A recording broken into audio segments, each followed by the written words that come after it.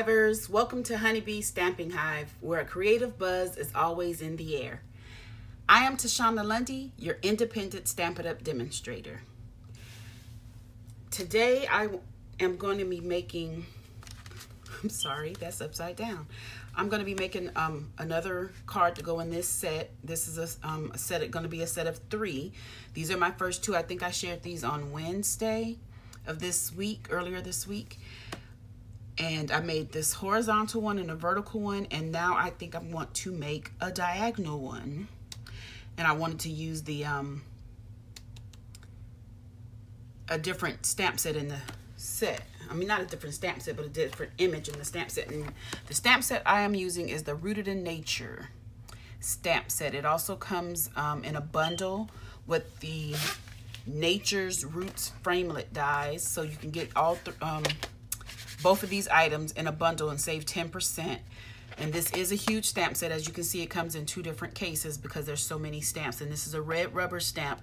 So you can either get it in a clear mount, which is what I have, or the wood mount. And clear mount does not mean the stamps are clear. They are red rubber. That just means it mounts onto the clear blocks. Okay? So I'm going to be using um, the sponging technique and the torn edge technique combined to create these cards. And what I have here is a um, just plain whisper white cut at um, four by five and a quarter. I'm gonna take a little bit of adhesive. I can't find my snail, so I'm gonna use a little bit of fast fuse just to um, adhere this down to the paper so that it won't move while we're sponging. And then I also have my um, torn edge pieces that I've used in the, for, not in the, but for the previous card. So I'm using the same pieces. It's just a notebook, um, a sheet of notebook paper that I've torn to create the edges. I've torn it to create these edges.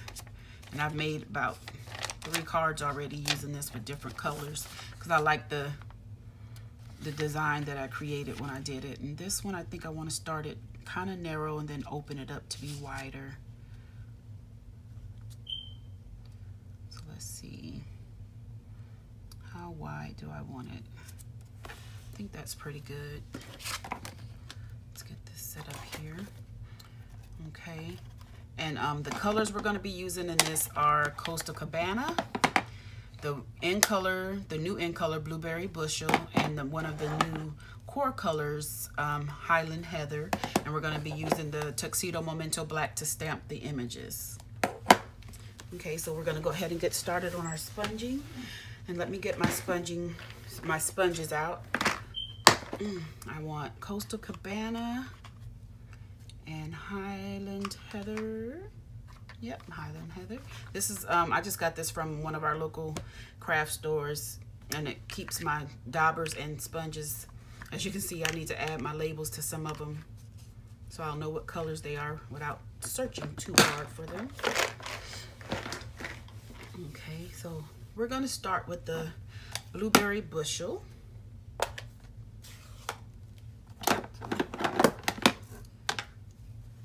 just going to dab this into the ink and start sponging on carefully. I'm going to try not to go underneath the template here that I made. And I don't have any measurements as far as um, how much to put on of each color, but I just want to keep in mind that I do have three colors, so I don't want to go too far down with one or the other. And we're going to do Coastal Cabana next. In the Coastal Cabana, I'm going to do that at the bottom, but I want to do this to make sure that I don't um, color too much of the middle color and don't have enough room for the Coastal Cabana. See, I went under there again. Oh man, it'll be okay. Let's see. Yeah, that's where I'm gonna probably stamp my image, so it shouldn't, it shouldn't, um, be that noticeable once the card is complete. Okay, that's enough of that color. Here now, I'm gonna go with the Highland Heather. This is the new stamp case design where you just open it like a compact and then slide it down. And that's gonna go here in the middle of these two colors. And as you can see, I'm just sponging in a circular motion and I do want to overlap the colors to make it blend in the lines.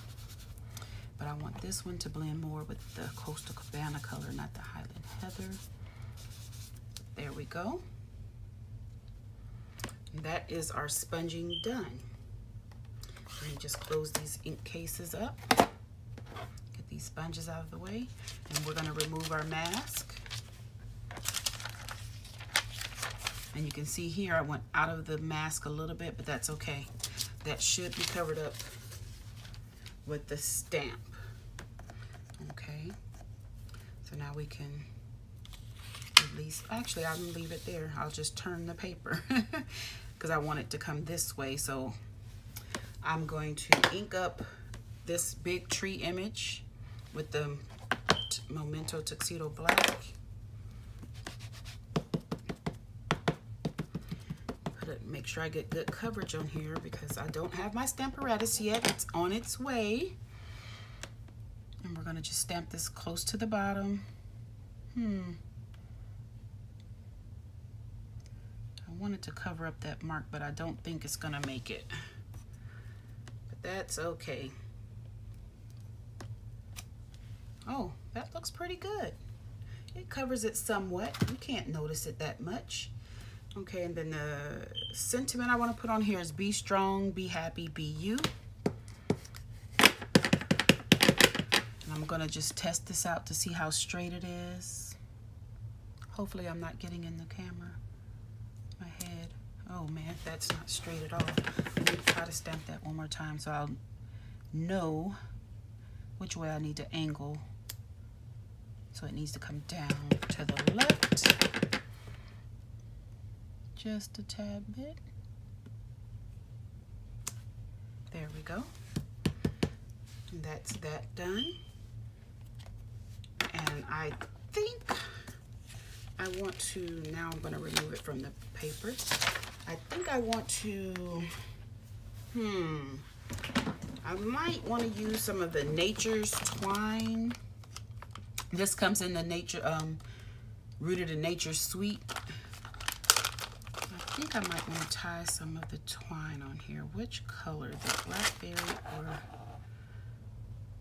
Hmm, hmm, hmm. Because I want it to go right here to kind of separate these two colors. So which one do I want? Let's see, let's see, let's see. I think I'll use the blackberry. I like this color.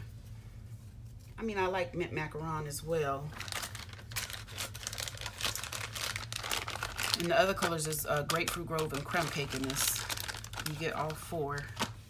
So I think I want to tie some of this around here. Actually, I'm not going to tie it. I think I'll just cut a little snippet right there. And then tie a bow separately because, uh, yeah, me and bows we don't get along too well when I have to tie it with, but if I tie a separate bow, it's much easier for me.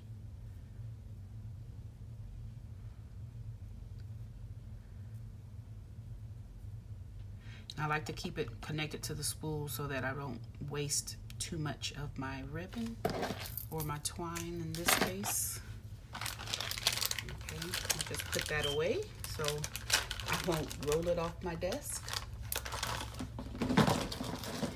And to connect the twine around the actual cardstock, I'm just going to use a little bit of tear and tape.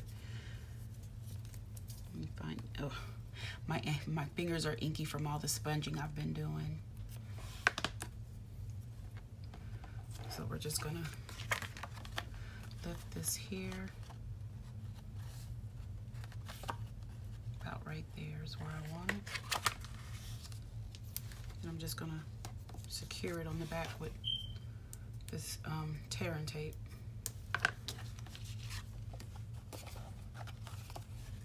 Come on, get across.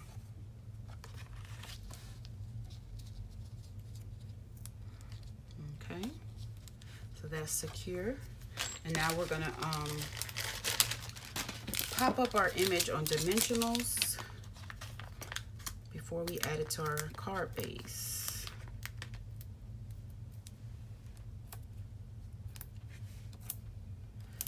Just use a few of these I don't want it to sag in the middle, so we'll put one here in the middle. I guess three in the middle, because that's how many I have. And the card base is just Whisper White, cut at a five and a half by eight and a half, scored at four and a quarter.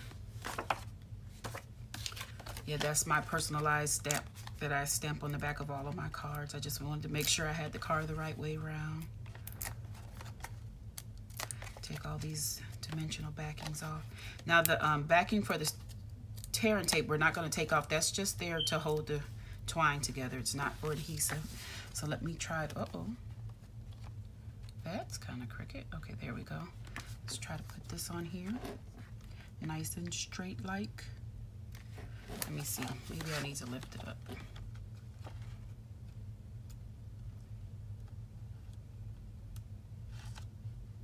Hmm. Nope, I don't like it. Come up, come up, please come up. There.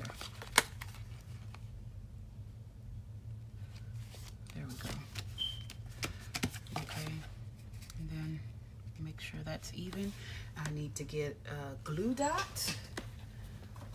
I have some glue dots left over from paper pumpkin kits, so that's what I'm gonna be using to adhere this bow Let me tighten that up, straighten up my tails, and I will put this glue dot on the back of here and release the paper.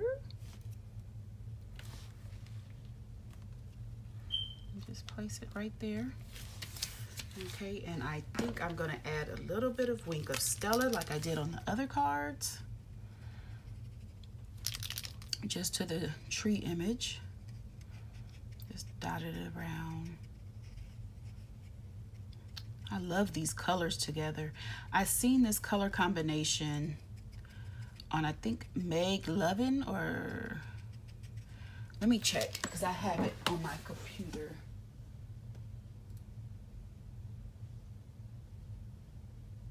I think it's Lovin Stamps and her name is Meg. She made a card with these colors nothing like this that I made, just the colors. And I love the colors together. So I thought, I think I'm going to make some cards like that. And it turned out great. Okay, that should be enough. I don't know if you can see that sparkle. I don't know. But in real life, you can see it. It is very shiny there. Okay, and that is our card. I love the way that came together.